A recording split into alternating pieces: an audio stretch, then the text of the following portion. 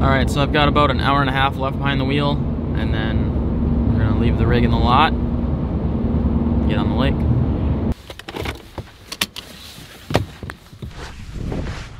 Quite the rig you got there. What's that? Quite the rig you got there. Thank you. Yeah, I got a little camper set up in the, that's my camper. Dude, that's dope. So if you pull this out as my kitchen, Holy. Pull this out, that's just random storage. All right, guys. Well, this is a little bit ridiculous, but this is what I'm towing out by myself. A lot of bare ice, but there's a little bit of snow mixed in. Shouldn't be too bad to pull the sled. It's just this is a lot of gear for one guy to bring out. This looks a little crazy. Just gonna put this rope around my waist like so, and then we'll be good to go.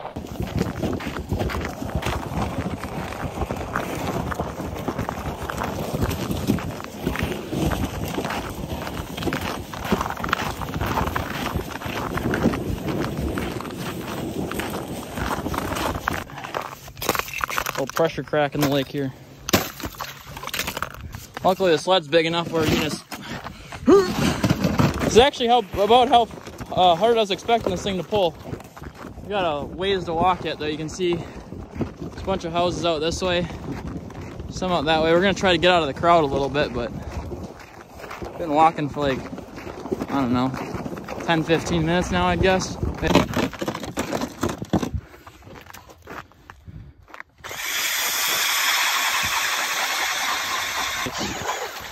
A lot more since last weekend. I think we better get set up here. Yeah, Try to fish. works for me. What do you think? Oh yeah. Um, I'm gonna check my phone later to see how many miles you walked, but I'll put that up right here.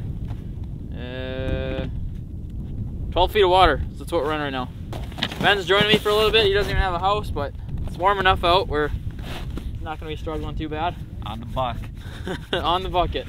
Hopefully we can put some fish on the ice.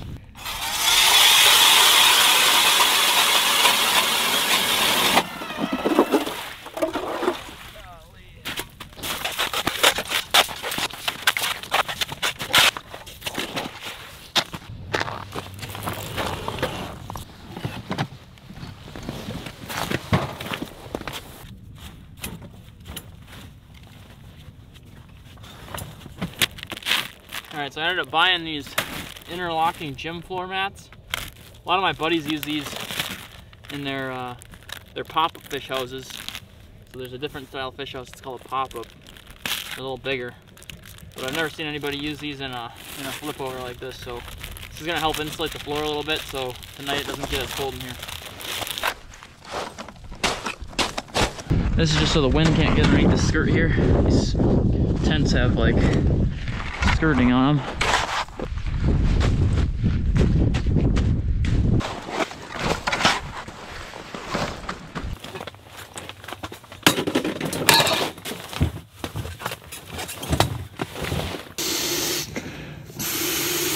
We can add a little bit more later.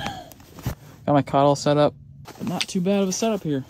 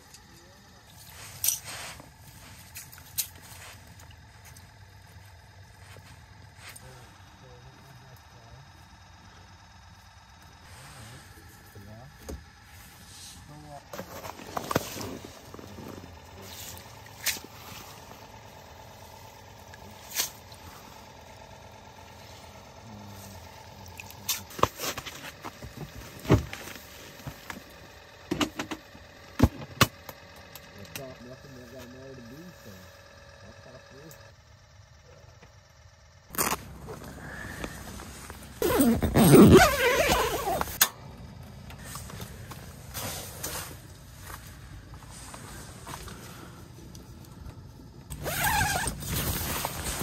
Ben's got a fish on. Feel like a pretty good one? Come up and oh. later. Oh, yeah, that's a good one. isn't it? Yeah, that's a good one. It is. Oh yeah. He might be too big. Yeah. Nice fish, dude. He ate it Choked it. Golly. oh, quick oh release. God. 21 and a half, Yeah. 22 almost, 22 and three quarters. Or sorry, 21 and three quarters. Yeah, not a bad one there. So the limit right now is you can keep two under 17 and then one over. So I think he's gonna decide not to keep this fish. Real healthy. Ready to go already? See ya. Nice dude. Oh yeah. That was sick.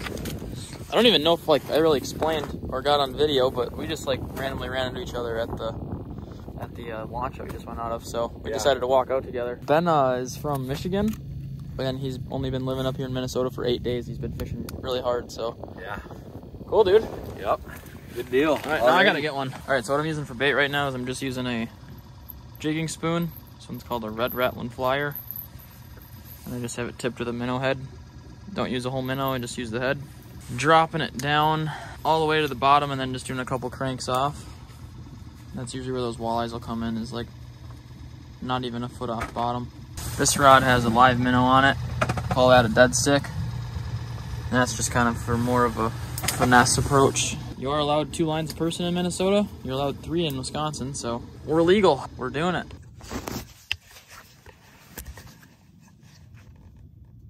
Oh, Nemo. Yeah.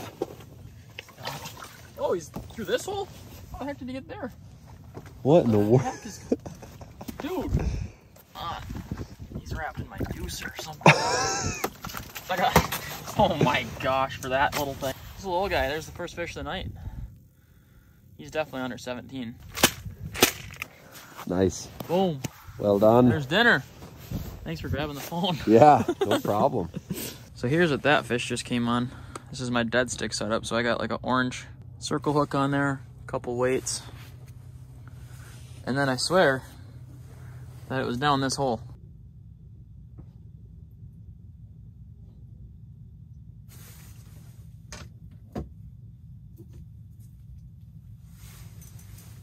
Got one. Oh, right at the hole he came off. Oh, he popped. Eh, it was bigger than the other one. Was it? Yeah. You get those kind of corks worked out of you. Like, Yeah. Knocking the, the dust off. yeah, exactly. That was just a novice move there. Picked this up at the local hardware shop. This is a rattle reel. It's just a reel that has a bell in it. And I'll show you how it works in a second once I get the line on it. I mean, it came all nice and untangled, but somehow I get my hands on it. I do great things. All right, so I'm officially out here all alone now. Um, there's been a lot of schools of fish moving in, like this right here. That's a fish, and I've been trying to clean up, but the fish aren't aren't letting me. Gone ahead and whiffed on like three different ones. It's like seven o'clock right now. Everybody's kind of getting off the lake, and I am the only one. Oh, oh, oh! I got a fish on. Fish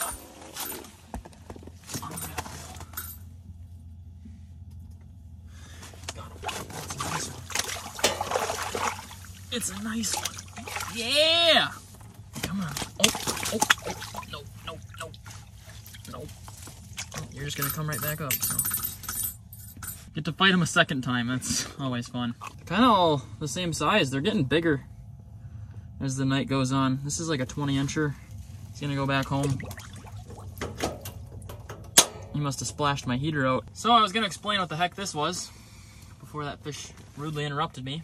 Basically what this is is a dead stick. So I've got like a bigger bladed kind of jig on there. What I'm doing is I'm just back hooking those minnows like that, considered a rattle reel. So this orange line is really like a fly line. What happens is when a fish bites this, that bell moves around in the center and it makes noise. These are super popular in uh, sleeper fish houses, like RV style houses, and I've actually never owned one before. I've used them a bunch, but I've never owned one. So I found this one that had a clip on it, and I thought it'd be perfect for the night in the tent. Oh, looks like there's a fish down there again. Dude, I don't remember this lake being good at night, but it's not it's not too bad right now. So see, this is the bottom, and then right there, that little flashing thing. That's my that's my bait.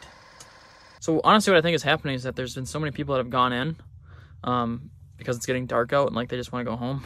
And there's not a lot of people sleeping out here because the ice isn't thick enough for those sleeper fish houses yet. I'm gonna take advantage of this early ice and catch uh, catch a different window of walleye than I guess is normal out here.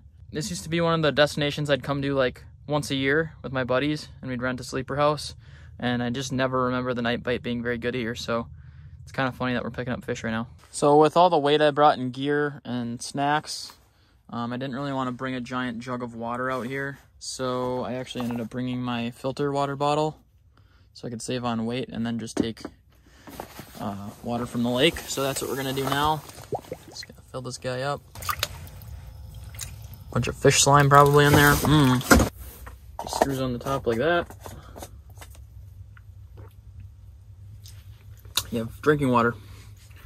I actually really like this thing because it packs down super small because it's a bag. Kind of expensive. I think this one is like 35 bucks, but if you want one of these, I'll leave it in the description below. This isn't a brand that I'm like sponsored by or anything. It's just something that I use a little bit. Got a bunch of snacks back here. Extra rods, pots, pans, batteries. The only thing I wish I would have brought was a towel to dry the floors. So I could take my boots off and then like maybe some slippers or something.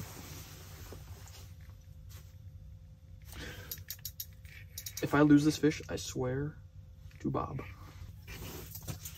Wrapped around my ducer. I think. Not that big. That's the biggest one of the night. Let's go! Let's go! No, it's not. Let's not go. That's why they're coming on hook. They're just snout biting it. It's just like, they just barely bite it, bite the bottom. Got a tangle going on here. Alright. See you later, sucker. I'm catching like all of my fish right now on the, having all these bites at least on the spoon. Same spoon I showed you earlier. It's fun. I wish I would get like one more slot fish. Actually, I don't really care. Then there's a fish on the bottom again. Oh my god.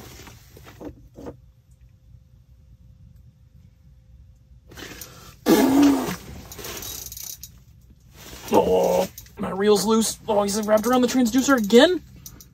No, he's not. Ah! Ah! Ah, he's about the same size. Is this the same fish? Oh my. So strong. Another one. Oh. Just completely soak my heater every time.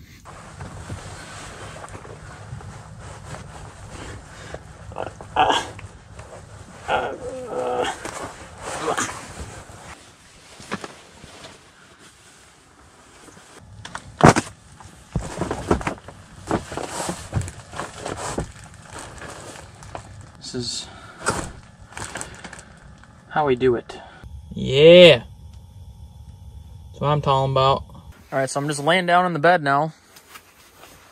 Look at how dry the floor got from the heater. It's completely dry now.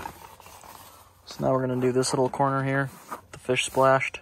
Just hanging out with greasy hair in my bed on the ice. Like at this rate, I'm not even gonna need the sleeping bag. I haven't marked a fish in a little while now. It's about 9.30 at night. Oh my, as soon as I say something, dude. Is that a fish for real? What do you guys think? You think this is a fish? This is so funny. No, it's not a fish. Um, I was going to clean this thing up and eat it tonight. But it sounds like so much work right now. And I'm not really willing to do, so he's going to sit in the ice there until morning and then I'm gonna have him for lunch. I did bring a, a McRib to make, so maybe I'd actually make a McRib for dinner really quick. I wish I would have known about this like four years ago, that this was possible, because I would be doing this all the time. And this thing still looks better than McDonald's. And I made it in the middle of the freaking lake. Like, look at.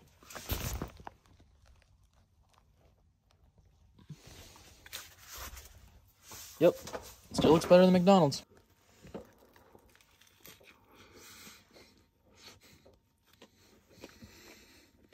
I wish I could fit more barbecue sauce in this without making a giant mess, but maybe I can. Please, nothing crazy happen. Can I just enjoy some barbecue on my McRibbage? Okay. Epic meal time over.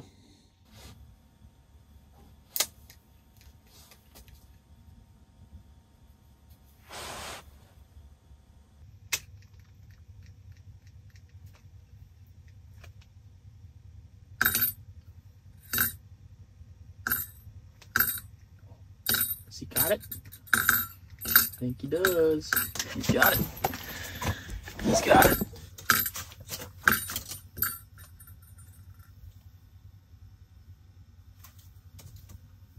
Alright, what do we got here? Keeper! Yeah! So I'm not really gonna worry about the camera right now because the last one that I thought was a keeper made it back home. Stop.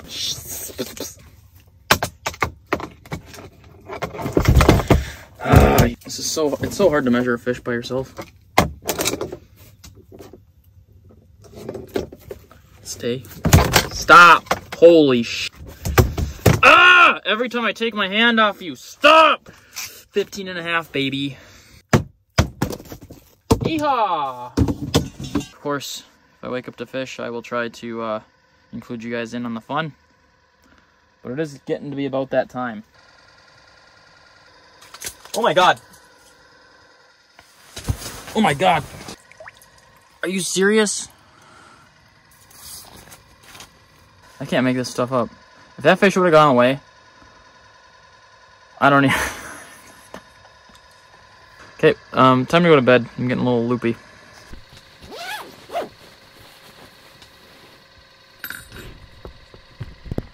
Am I ever gonna get to go to bed?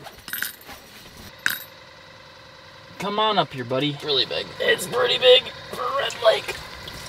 Oh, yeah. Alright. Seed buster. Oh, yeah! Doesn't get old. I'm not even mad that I'm still awake. It's like 11 o'clock right now. As long as I keep catching fish like that. I think I've tried to film that scene of me going into my sleeping bag like three different times. Every time I do it, a fish bites the frickin' the rattle reel.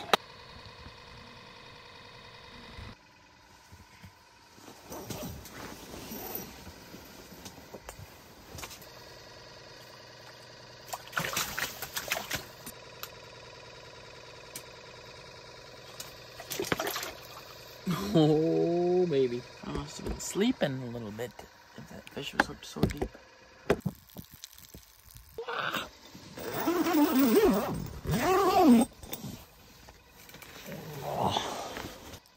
Happened at 1227 and now I'm going back to bed.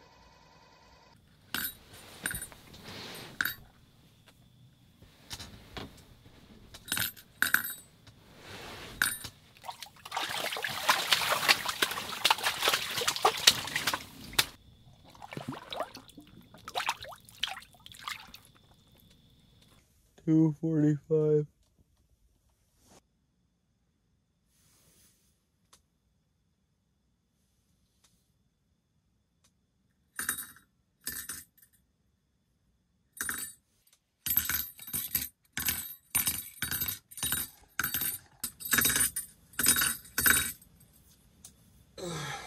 Got him.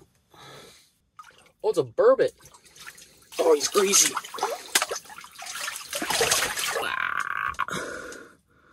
Oh god, he swallowed that, huh? Open up, pouty.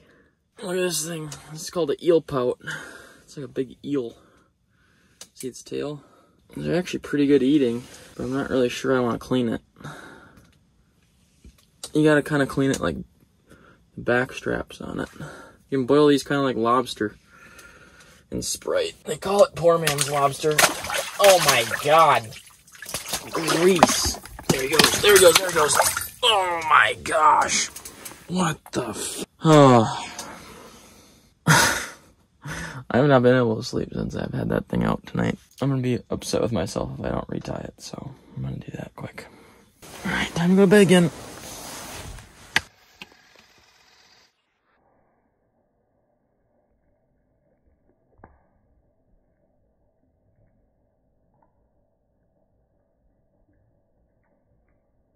I'm not gonna lie, I did not want to get up for that rattle reel. Oh god, I don't even want to reel up that slack.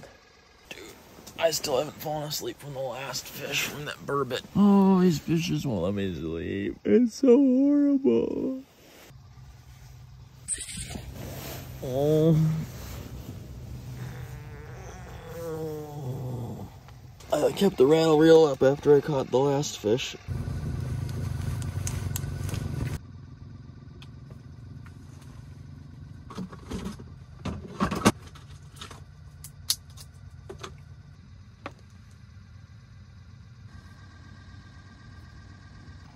Alright, looks like my heater's starting to run out of propane. I better get the heck out of here. Probably about time to get off the lake anyway.